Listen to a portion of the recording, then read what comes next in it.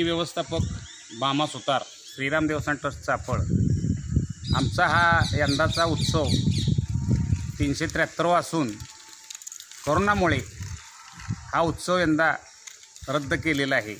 हा उत्सव दहा दिवस चालतो.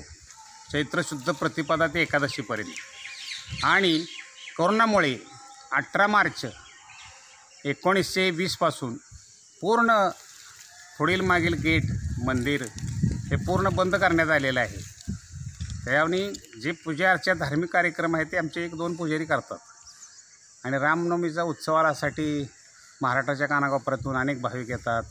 आमच्या भागातील जवळजवळ अडतीस गाव आहेत आमच्या भागात. त्या भागातील लोक सगळे येतात. पण ह्या नोरोत्सवामुळं सगळे आपापल्या घरी बसून आहेत. कुणीही बाहेर पडलेलं नाही. इकडे दर्शनाला सुद्धा तर एकही माणूस इकडे येत नाही. कोरोनामुळं सगळी घरामध्ये बसून शांत आहेत जन्म किती वाजता होतो? आणि हा राम जन्मोत्सवचं वेळ बारा पंचवीस आहे.